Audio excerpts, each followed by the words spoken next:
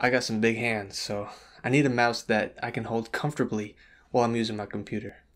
I did some research and here's what I came up with. First we got the Logitech M10 and we got the MX Master 3. I also got the Rival 310 and the Corsair M65 Pro RGB. All four of these mice are great options, so I'm going to go over each one and tell you the pros and cons of each one and you can make your decision on which one you want to pick. So the first mouse is the Logitech M510 and Logitech has created a lot of devices over the years, from keyboards to mouse and all kinds of different peripherals. And overall, my experience from all of them have been great. And my experience with the Logitech mouse has been pretty much the same as all their other products. I mean, overall, this mouse has an amazing feel, and I'm really enjoying this mouse so far. So this is what it looks like right out of the box. This is one of the smaller mouse out of the four. So if your hands are between medium to large, not super large, but sort of that mid-range, then I think this is the mouse that you're going to be looking for. Real quick, if you're enjoying this review and appreciate all the work that I've done to create it, I would really appreciate if you would take five seconds to just hit the like button. It really helps out the channel and helps me grow. Thanks a lot, and back to the review. So some of the cool features of this mouse are it's got the forward and back buttons. It comes with two buttons on the left side that allows you to move forward and back on a page with ease and simple click which is quite useful. I'm finding myself using these buttons quite often. Another interesting thing about this mouse is the scroll wheel. Not only can you zoom in with it, but it also has a side to side scroll with the with the scroll wheel there. You'll see the two arrows on the side and it can click left to right to scroll the page left and right. That's a pretty unique feature that isn't seen in most mouses. There's also a software you can get where you can program macros and micros to the mouse however you like to your liking. On the side of the mouse there's also a rubber pad that feels really nice while you're using the mouse. So real quick some of the pros and cons. One is it has a two year long battery life so when you buy this mouse, you're probably not going to have to replace the batteries. And by the time the batteries die, you'll be ready for a new mouse. This mouse is also one of the cheapest on this list of four, so you're getting a great mouse at a great price. This mouse is also super plug and play, easy to go. Inside the battery compartment, it has a place to store the USB controller. You'll just take that out, plug that into your computer, and your computer should automatically install whatever drivers it needs and you'll be good to go. That storage compartment is also pretty handy when you want to take your mouse on the go with you. Put it all together, take this with you, and then you just open this up, take the thing, plug it in, and you're ready to go. One downside of this mouse though is the DPI is pretty low, set at a thousand. And from my playing around with it and stuff, there's really no way to increase this, so that's what you're stuck with. So if that's something that's important to you, just know that going in, the DPI is stuck at 1000. Overall, this mouse is pretty good for someone with about medium sized hands to large hands. It feels pretty comfortable while using it. It's not the most comfortable mouse on this list, but it does come at a great price and I love the storage compartment for the USB connection. It just makes it super portable and easy to take with you. Next up is the SteelSeries 310. I'm seeing a lot of people talk about SteelSeries online. They make quite a bit of different mouses and they're really good at what they do. Overall, their products, from what I see online and their reviews, these mouses are top quality. This mouse here is one of their lower priced mouses so this is definitely for a budget friendly mouse. It's not super expensive. So far I've really enjoyed it. It's slightly bigger than the previous mouse and overall I enjoy this mouse more than the previous mouse. Though one downside is it's not wireless like the other mouse. It does come with a wire so you'll have to plug it in when you use it.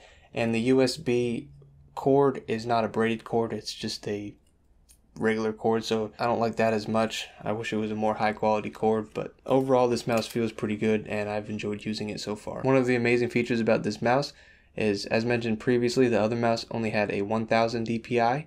This mouse has a whopping 12,000 DPI, which allows you to play competitive sports pretty quickly and easily. This having a good DPI on a mouse is pretty important if you're going to play gaming competitively. This mouse also has RGB lighting, there are two zones on this computer mouse that have the capability of customization in terms of RGB lighting.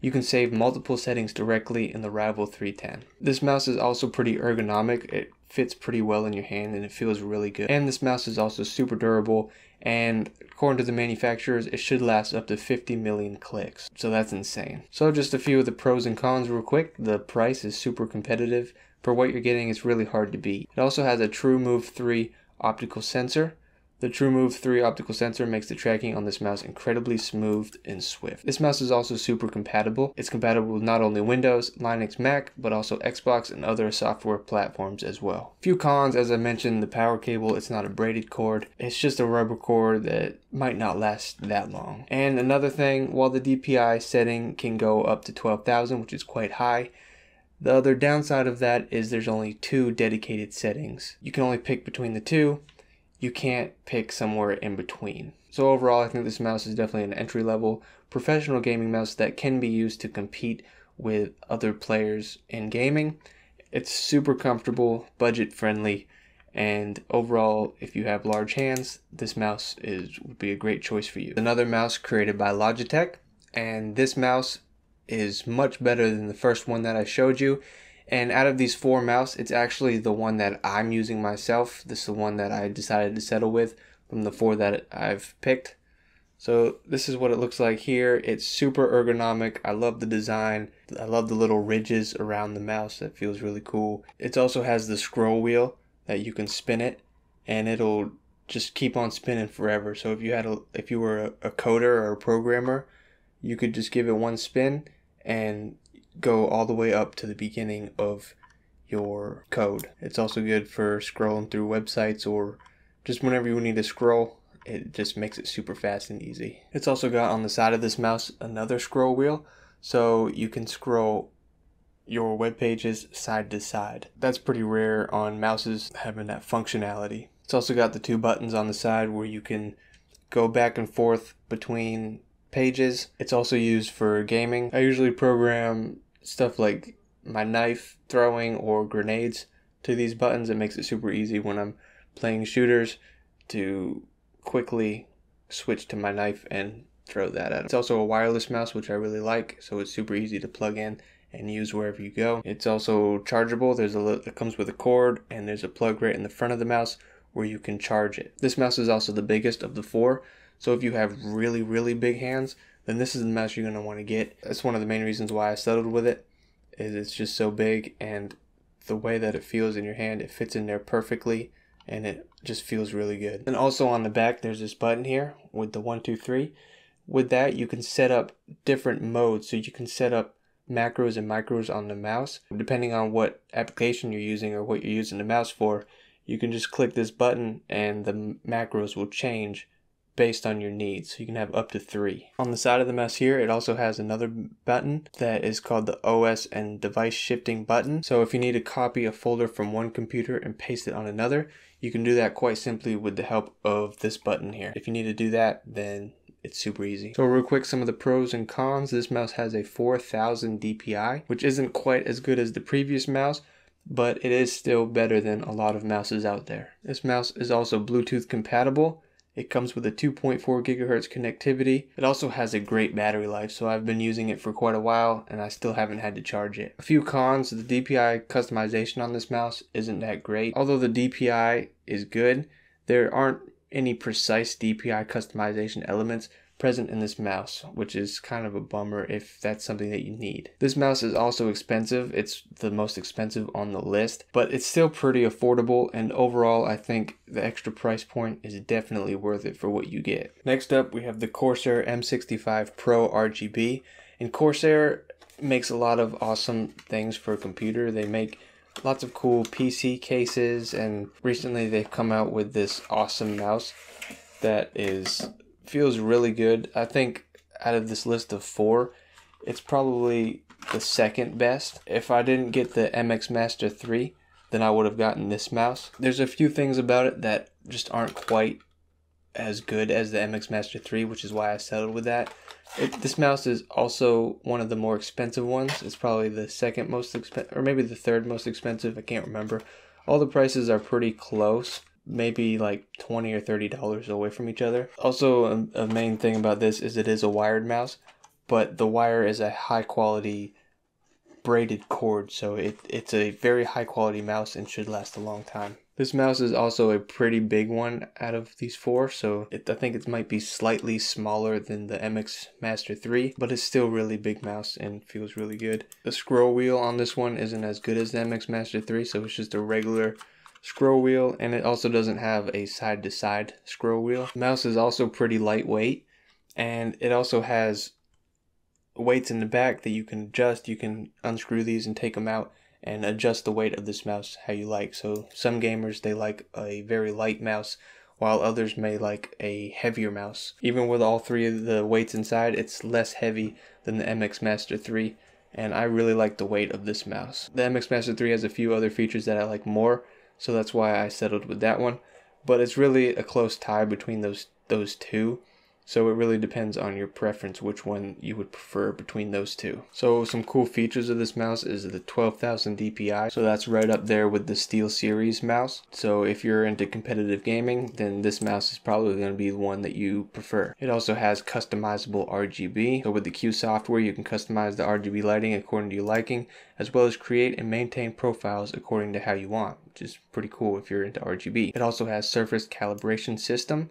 With a proper surface calibration system, you can optimize sensor precision and responsiveness for better movement and flow of the mouse. It also has Omron switches. The Omron switches in this mouse are quite durable and last a long time. The clicks are also very smooth and at the same time sound amazing whether playing your favorite games or working on a tough office project. So real quick some of the pros and cons that I found with this mouse. It has an aircraft grade aluminum design. The M65 is made of an anodized aircraft grade aluminum that is extremely durable and lasts for quite a long time. It also has a sniper button, which is the red button I was talking about on the side. With a dedicated sniper button, you can enhance your first person shooting playing experience just with the touch of a single button. So if you're really into first person shooters, this button could help you. There's also eight buttons on this mouse, so that's really good for gaming or whatever, just to program different things on the different buttons. It was hard for me to find cons on this mouse. It's such a good mouse.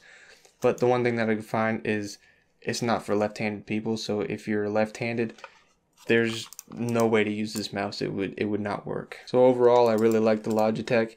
And if you're a gamer with large hands, I definitely think this is the choice to go. Down in the description below, I'll provide a link to each review. I reviewed each of these mouses individually and went more in depth in each one so you can get a better understanding if there's a certain mouse that you liked yourself. If I was going to pick one of these four mouses for large hands, like I said, I went with the MX Master 3. It's the most expensive on the list.